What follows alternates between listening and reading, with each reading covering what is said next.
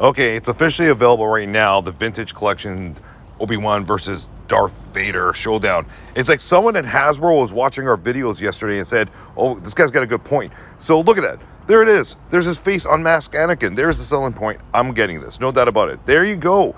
Wow, Hasbro, you're pretty fast. I said it yesterday because I was looking at the promo pics. I'm like, they should have an alternate head with basically showing uh, Anakin unmasked. Now, obviously, it's not an alternate head. The mask comes off him, but I didn't know that yesterday. I'm sure a lot of you didn't I, as well.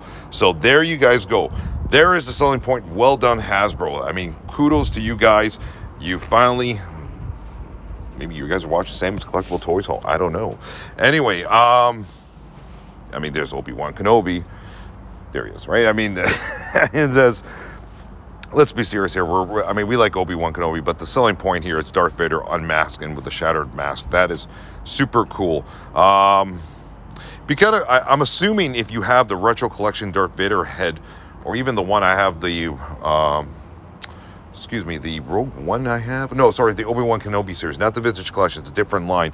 I wonder if you could swap the head and just kind of interchange it. That'd be kind of cool. Um, anyway it is what it is at this point, right? Check it out, guys. It's available at Big Bad Toy Store. I'm definitely picking this up 100%. Looks awesome. Take care.